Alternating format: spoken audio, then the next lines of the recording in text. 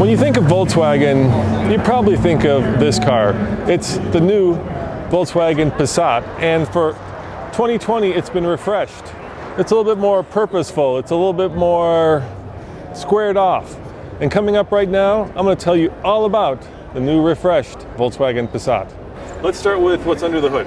Yeah, we've got a two-liter four-cylinder engine that we've had in the past, the Visa, the B-cycle engine, um, 174 horsepower. Mm-hmm. Uh, so pretty excited about that. It's proven itself then in previous vehicles that we've had. So we know what uh, we've got coming there. And what's it what's it paired to? Eight-speed transmission. Eight-speed transmission. Yeah. Mm-hmm. So let's talk about what's new. I mean, obviously the styling's a little bit more purposeful.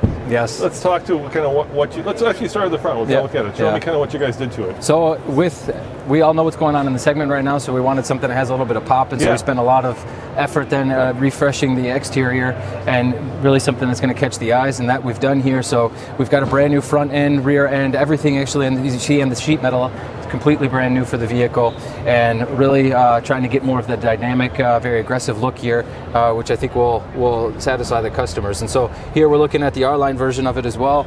And the R-Line is an additional design package, uh, which we will have standard in a trim, uh, and it's got that extra bit of pop as well. So. it looks a little bit more kind of square jawed, a little bit yep. more purposeful. Mm-hmm. Yeah. Kind of feel like you guys have gone a little bit more aggressive. Yeah, that was the intent. I mean, it, has got to it's got to catch the eye, and that's uh, that's what our intent was here. And I think the overall proportions and, and design language definitely will. It's very aggressive, aggressive in its language. Volkswagen not only did the exterior styling, but they also worked on the interior, giving it a little bit more airy, more modern feel. Color and trim is new. Yeah. Uh, and uh, also very important is here the, the dashboard. Wanted to give it a fresher look. So we've uh, but uh, you still have very classic uh, Volkswagen language here, design language, but with the air vents now integrated into the dashboard a little bit higher, it adds a adds a bit to the to the design. We've got the new glass uh, eight-inch screen uh, that's available in there, and colors throughout. One yeah. of the things that's always set the Passat apart was that it had best-in-class rear legroom. Mm-hmm. Is that still the case? Absolutely, still yeah. the case. Legroom and as well the the, the storage this was something that our customers told us very clearly. This is this is what we want to have. We like it. It's comfortable for the road. It's comfortable for our kids, and that's something that we listened to. Didn't want to touch that too much, and, and make sure we still offer that for the uh, customers. No, how tall are you? I'm 6'2". Me too. So why don't you sit down? Let, us show them. Yeah. Let's show them how big that is. Extremely comfortable second yeah, row. That. Yeah, look at you got tons Knees of room are back. back here. I'm laid back. I'm in a very comfortable position right now. I'm feeling good, and that's what we've heard from the from the customers. That's what we know the feedback is, and so we didn't want to touch that. How is this different from the German Passat, or is it different? Yeah, it, it is a bit different. Yeah. Uh, this one's much more tailored than to this market and uh, the Passat is, is going also through sort of a revitalization over in, in Europe right now and getting ready uh, for what's going on there in the segment. Um, we're still here on our on the platform, the underpinnings have, of the predecessor, uh, and and with purpose. We knew what, what the customers want here, uh, and we said, hey, there's no reason to really to change the underpinnings.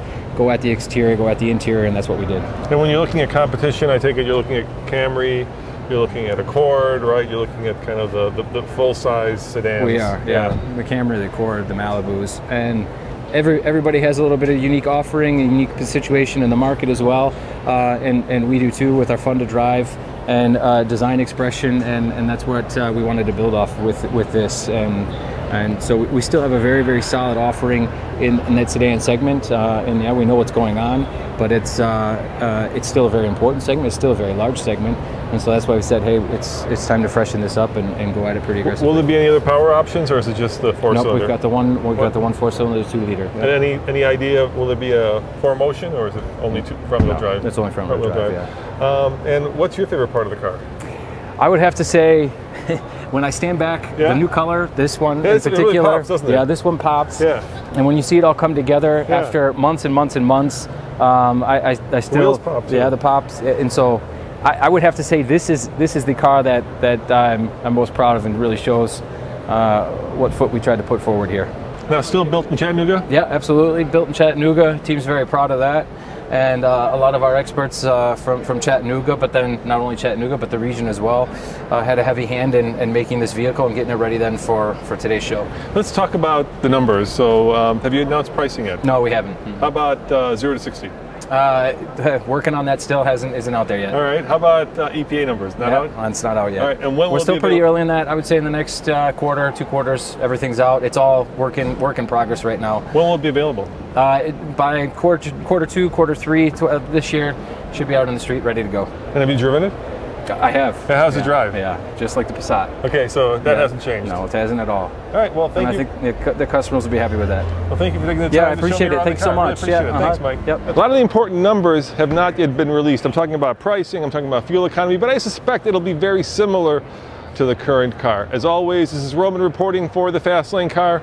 Remember, check out tflcar.com for more news, views, and of course, brand new Volkswagen Passat reviews. See you guys next time. Ciao.